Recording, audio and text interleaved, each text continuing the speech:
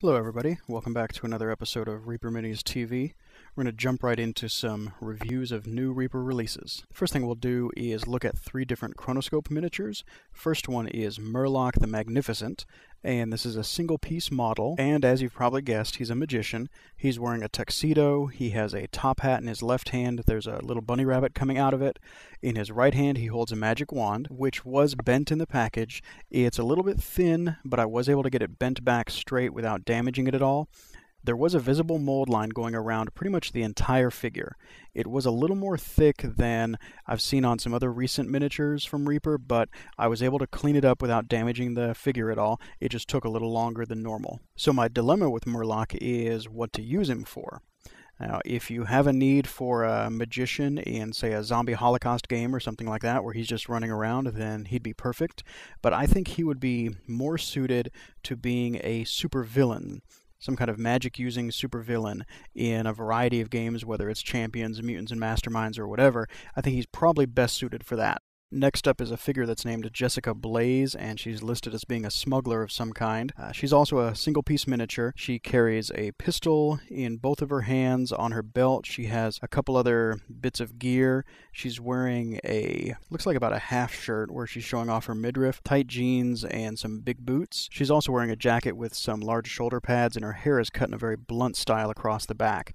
Uh, the first thing that I thought of when I saw the miniature was she would be perfect in resolution another game that I like to play. It's a sci-fi game. It's skirmish based, and she would be great as a CSO agent or something similar.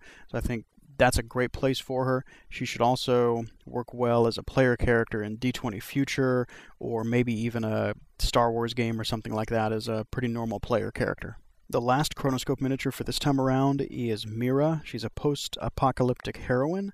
And with this one, there is going to be a little bit of assembly. You get the main figure and then a cape that goes around her waist, and it's really more an extension of the jacket that she's wearing, and it just connects at her waist. There's a holster on each of her hips, and there's lots of buckles and laces on her boots and different straps and things like that all over the miniature. The other pieces that you get are her hands and weapons. You get six in total, three right and three left, and they're just opposite duplicates of each other. You get two curved bladed weapons, two automatic pistols, and two pistols that almost look like flintlock pistols, but if you painted them upright, you could probably turn them into laser pistols or something. Now, she would obviously do fine in any kind of post apocalyptic game or Road Warrior kind of game. I could also see dropping her into Resolution as a couple of different kinds of characters. Maybe use her in a future game like Traveller, D20 Future, something like that. Or you could even drop her into a superhero game as a normal with weapons or a weapon carrying superhero or supervillain, something like that. The first Dark Heaven Legends figure we'll look at this time around is Taldalise. She's an elf huntress, and before you think about it or ask, yes, the long spear was bent in the package, and again, yes, I was able to get it back into shape. It did take a little bit longer than something like Murloc's magic wand, just because it's a little longer piece, but I was able to get it straight. And this is a single piece miniature. It didn't require much cleaning at all. There were a couple little bits of flash here and there on the model. Uh, the mold line was very faint, almost undetectable. It was mostly on the shaft of the spear. She's wearing heavy armor and also has a sword and a scabbard across her backside. I could see this model easily being used as a good player character model in pretty much any fantasy game, or you could drop her in as the champion of a unit of High Elf Spearmen in Warhammer Fantasy, or something like that. Okay, with this next model named Sherilith, she's a spider demoness, have a couple of warnings right up front. First, there is some nudity to the model, so viewer beware. There's some nudity coming up. And second is there are a lot of pieces in this model, so you're going to do some assembly if you want to put her together. There are 13 pieces that make up the entire model. Eight of them are legs, and you're going to have to carefully cut them off of the metal sprue that they were cast on. Each of the legs needed a little bit of cleaning because there was a visible mold line, but there wasn't very much flash and there were no defects to any of them. There are three pieces that go into making up the segmented body sections of her spider parts, and the smallest one is in the middle and it attaches to part of her lower torso and then to the big bulbous spider part.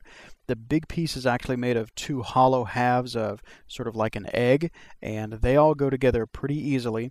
They also needed some cleaning, but on a model this size, that's not unexpected at all. The large egg shaped piece connects to the middle piece via a small nub kind of joint.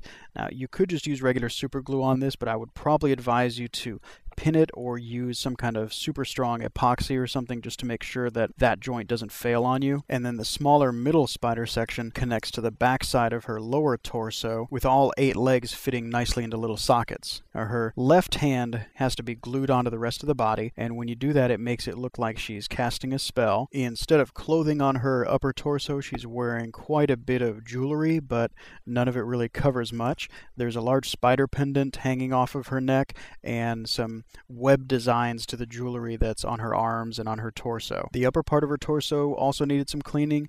There was a mold line running through the top of her head and also down one arm that I had to be pretty careful with because I could have marred the hairline itself. When you're assembling the model, you probably want to do a dry run of the positioning of the legs just to make sure you get them right so she's standing up straight.